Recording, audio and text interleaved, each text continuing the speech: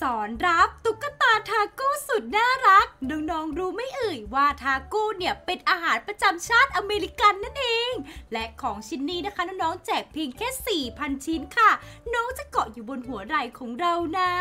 ซึ่งวิธีการทำไม่ยากเลยค่ะ เดี๋ยวเราไปดูกัน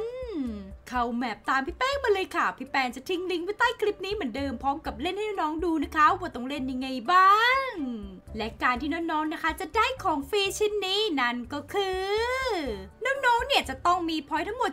75,000 point ค่ะ ซึ่ง point จะมาจากการที่น้องยืน FK อยู่นั่นเองสามารถเช็ค point ได้นะคะ ด้านขวามือกด Tab ได้เลยสำหรับคนที่เล่นในคอม